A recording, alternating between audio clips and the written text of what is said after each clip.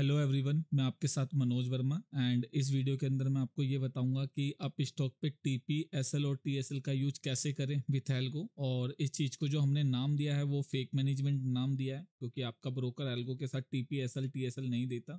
Bracket order mostly बंद ही होते हैं। एंड सेम जो पैटर्न है वो जरोधा में भी फायर्स में भी and Finvasia Alice Blue Angel जितने भी हमारे पास ब्रोकर है मोस्टली फेक मैनेजमेंट हमने सभी में दे रखा है। तो अगर आप इस वीडियो को देख के आपका कोई ब्रोकर है तो आप सेम पैटर्न उसके साथ भी फॉलो कर सकते हैं। अभी के लिए मैं आपको जो दिखाने जा रहा हूँ, वो आप यहाँ देख सकते हैं।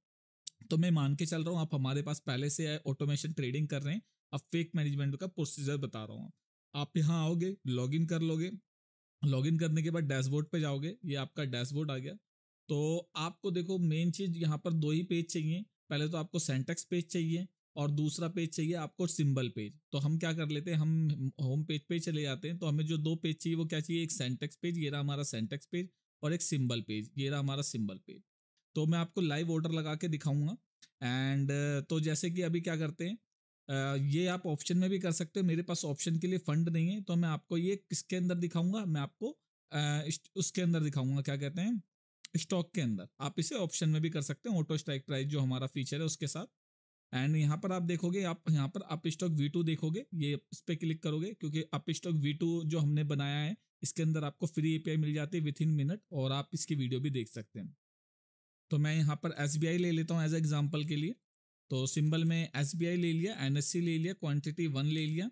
बाय कर लेते हैं। यहाँ पर आपको एक ऑप्शन दिखेगा विथ टीपी और एसएल आपको विथ टीपी एस पे क्लिक करना है। जैसे आप विथ टीपीएसएल पे क्लिक करोगे, आपके सामने आ जाएगा fake stop loss fake target and fake TSL TSL की वीडियो में पर्टिकुलर एक अलग से बना दूँगा, अभी हम टारगेट और एसएल की बात कर लेते हैं। तो आपको क्या करना है, जैसे मैंने एक रुपए का टीपी और एक रुपए का एसएल दे दिया एंड इंट्राडे करके ये सेंटेक्स जनरेट कर दिया तो मेरा एक सेंटेक्स जनरेट हो गया, इसे मैं कॉपी कर लेता हूँ। कॉपी करने के बाद मैं ट्रेडिंग व्यू पे जाता हूँ, और यहाँ पर आप कोई भी इंडिकेटर लगा के उसके साथ काम कर सकते हो। अभी के लिए मैं इंडिकेटर को ऑफ़ कर देता हूँ और मैं होरिजेंटल लाइन पर आपको खींच करके दिखाता हूँ। तो मैं यहाँ गया, मैंने एक होरिजेंटल लाइन डाली और होरिजेंटल लाइन के साथ अलर्ट करा। नोटिफिकेशन पे गया। पहले मैंने चेक कर लिया कि भाई मेरा वेबुक दला हुआ है तो आई थिंक दला हुआ है। नहीं दला होगा तो मैं डाल दूँगा। तो ये मैंने सेंटेक्स डाल दिया और इधर मैंने नाम दे दिया टेस्ट अलर्ट इसको नाम टेस्ट अलर्ट दे दिया। आपको अपने अपना वेबुक लेके आना है तो डैशबोर्ड पे जाओगे आप। तो मैं चले जाता हूँ डैशबोर्ड पे। वेबुक को कॉपी करोगे। इधर आओगे आप। ट्रेडिंग व्यू पे और ट्रेडिंग व्यू पे आने के बाद इधर आप अपना वेबुक ऐड कर दोगे, जो कि मैंने भी ऐड कर दिया इस तरीके से।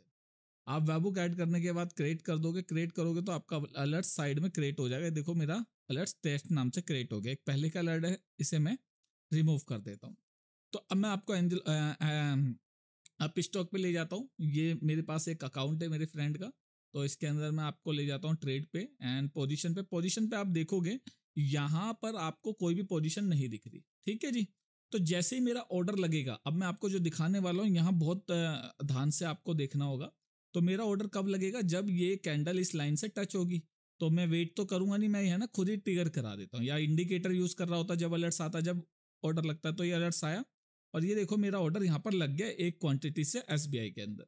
अब यहाँ पर आप देखोगे, जो मेरा प्राइस है, वो तो लग गया। अब अगर आप मेरे डैशबोर्ड पे जाओगे डैशबोर्ड पे एक पेज बना रखा हमने फेक मैनेजमेंट आप इस पे जाओगे तो यहाँ पर देखो एक एंट्री हुई है। अभी आप टाइम देख सकते हो, एक बज के सात मिनट और अगर हम इधर देखें टाइम दिखाता है तो कहीं, इधर चलो टाइम नहीं दिखा रहा ऑर्डर में दिखा रहा होगा। थी हाँ ये रहा। ऑर्डर जो आया था, एक बज के सात मिनट पे आया था।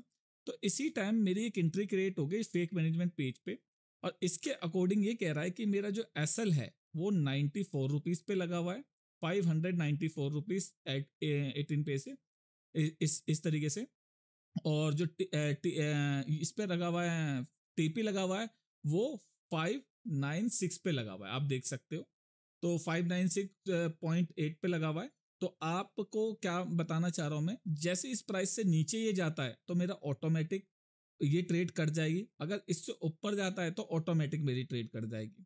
तो अभी के हिसाब से जो प्राइस दे रखा और अगर हम करंट प्राइस देखें एसबीआई का अगर हम देखें तो ये जो चल रहा है नाइन्टी फाइव चल रहा है नाइन्टी फाइव अस्सी पैसेज करीबन चल रहा है।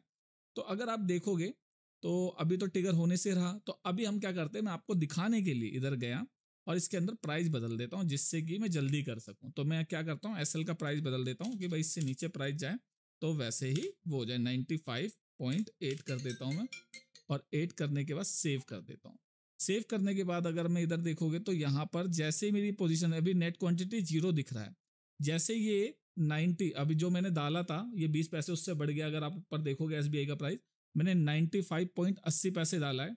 और हाँ अब ये आई थिंक 95 पॉइंट साठ पैसे पे आ गया तो आई थिंक ये ट्रेड मेरी क्लोज हो जानी चाहिए।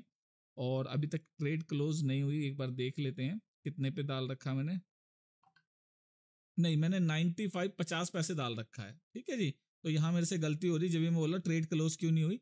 अभी जैसे ये नाइन्टी फाइव से नीचे जाता है मतलब अब पैंतालीस पे आया अब ये ट्रेड क्लोज हो जानी चाहिए। ये देखो, आपके सामने ज़ीरो हो गया, जैसे आया। तो विद इन दो, तीन, चार सेकंड लगते हैं और ये प्राइस चेक करता है जैसे ही वो प्राइस आता है और इसने ज़ीरो कर दिया। आपके सामने ज़ीरो क्वांटिटी कर दी। अगर ऑर्डर टाइम देखोगे तो इनने यहाँ पर करा था।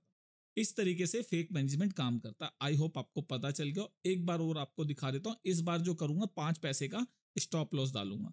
तो हम सेंटेक्स जो जनरेट करा था हमने पहले, दोबारा से वही सेंटेक्स पे गए और यहाँ पर हमने क्या करा? Zero point zero five. ठीक है? नहीं, दस पैसे का स्टॉप लॉस डाल देते हैं। दस पैसे बहुत होता है।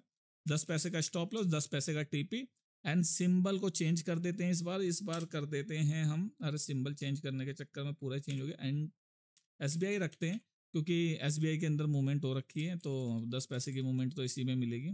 दोबारा से कर देते हैं N S C quantity one buy market market नहीं, यहाँ टी पी एस एल लेना।